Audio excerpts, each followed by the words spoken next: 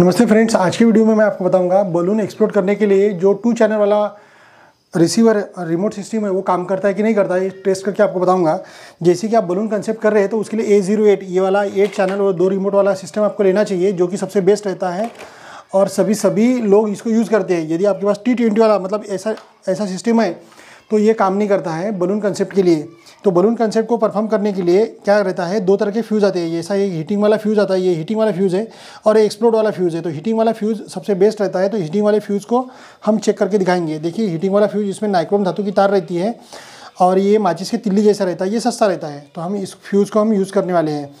तो जैसे कि आप देख रहे हैं, इसकी वायर लंबी है और इसकी वायर छोटी है तो ये सस्ता रहता है। हम इसको यूज़ करने वाले हैं। तो ये टू चैनल वाला रिमोट रिमोट सिस्टम है जिसके कि आप देख रहे हैं। तो ये डबल ए साइड की इसमें चार बैटरी लगती है जो कि अपने वॉच वाल जो वॉल वॉच रहती है उसमें लगती है। तो इसको मैंने चालू कर दिया। चालू करने के बाद इसमें देखिए आप दो रिसीवर हैं। दो रिसीवर में से मैंने इस ए, एक को यूज़ करूँगा। तो ए वाला है तो इसको मैं जैसे प्रेस करता हूँ तो देखिए ये ब्लिंक हो रहा है। तो अभी मैं क्या करूँगा ये बलून को ये फुला लूँगा और चेक करके आपको दिखा दूँगा। ये मैंने बलून को फुला लिया। बलून को फुलाने के बाद यहाँ से गार्ड लगा दूँगा इसको मैं। बलून को गार्ड लगा देने के बाद ये फ्यूज़ को मुझे यहाँ पे स्टिक करना है। तो स्टिक करने के लिए सेलो टेप्स का यूज़ करूँगा मैं। ये सेलो टेप है। ये हीटिंग वाला एरिया है। ये वाला, मैं इसको बलून के साइड में ऐसे रखूँगा और इसको मैं ऐसा स्टिक करूँगा।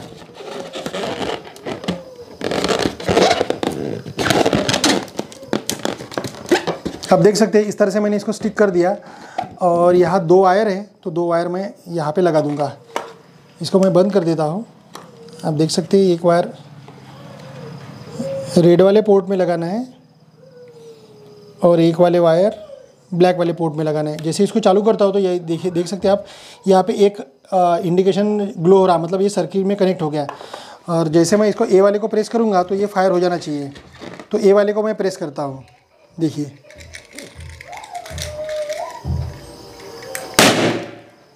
तो ये फायर हो गया है। तो मतलब जो रहता है two channel four channel eight channel वाला, ये सिस्टम बलून को फायर करने में सक्सेसफुल है और इसका यूज़ आप कर सकते हैं। तो ये सबसे छोटा है, सबसे सस्ता है, पर ये यूनिट सभी काम करता है यूनिवर्सल है। मतलब ये पायरो के ऊपर काम करता है पेपर शॉट के ऊपर काम करता है paper confetti ribbon confetti smoke और बलून कंसेप्ट सभी कंसेप्ट के ऊपर ये काम करता है। सबसे ज़बरदस्त है, इसको यूज़ करना चाहिए। यदि आपका छोटा सेटअप है, आपको नया काम चालू करना है तो इस कंडीशन में आप ये यूज़ कर सकते हैं। इसका करंट कैपेसिटी ज़्यादा रहता है। इसके कारण ये इस पर काम करता है। हम अभी इसको यूज़ करके मैंने आपको दिखा दिया। अभी मैं क्या करूँगा, ये आपको मैं टी ट्वेंटी वाला ये चैनल है। ये टी ट्वेंटी वाले चैनल के ऊपर मैं इसको एक कनेक्ट करता हूँ। और इसको अभी मैं चालू करके आपको दिखा देता हूँ। देखिए।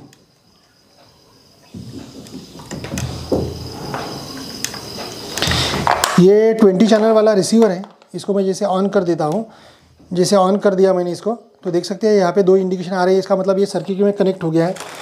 मैं अभी ये दूसरा बलून इसको फुलाऊँगा।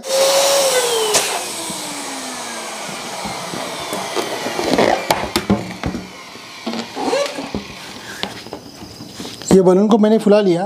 अभी ये सेलो टेप के मदद से ये जो फ्यूज़ है, ये फ्यूज़ को मैं यहाँ पे स्टिक करूँगा।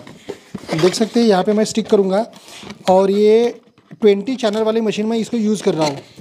देखिए, मैंने इस तरह से इसको लगा दिया।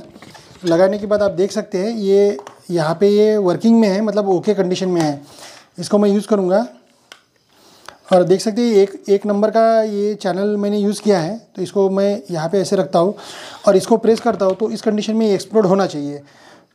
देखिए, मैं इसको ऑन करता हूँ, यहाँ पे इंडिकेशन ग्लो हो जाएँगे। अभी मुझे नहीं दिख रहे हैं। मैं थोड़ा सा तिरछा करता हूँ ताकि आपको भी दिखाई दे। देखिए। देखिए ब्लिंक हो गया था, पर ये एक्सप्लोड नहीं हुआ। फिर से एक बार मैं इसको यूज़ करके आपको दिखा दूँगा। अभी ये दो नंबर इसको एक नंबर यू पे लाता हूँ। देखिए, एक नंबर पे ला लिया। एक नंबर लाने के बाद इसको मैं यूज़ करता हूँ। देखिए ब्लिंक हो गया। पर ये एक्सप्लोड नहीं हुआ। मतलब ये 20 चैनल वाला जो सिस्टम है, ये बलून कंसेप्ट के लिए सक्सेसफुल नहीं है। यदि आप बलून कंसेप्ट के लिए यूज़ करना चाहते हैं तो टी ट्वेंटी इस पर ऊपर काम नहीं करेगा। मैंने इसको चेक करके आपको दिखा दिया। यदि इसको बलून कंसेप्ट के लिए यूज़ करना है तो इस तरह के फ्यूज़ आते हैं। ये वाले फ्यूज़ यूज़ करना चाहिए। ये थोड़ा सा इसमें अंगार लगती है और आग से ये फूट जाता है।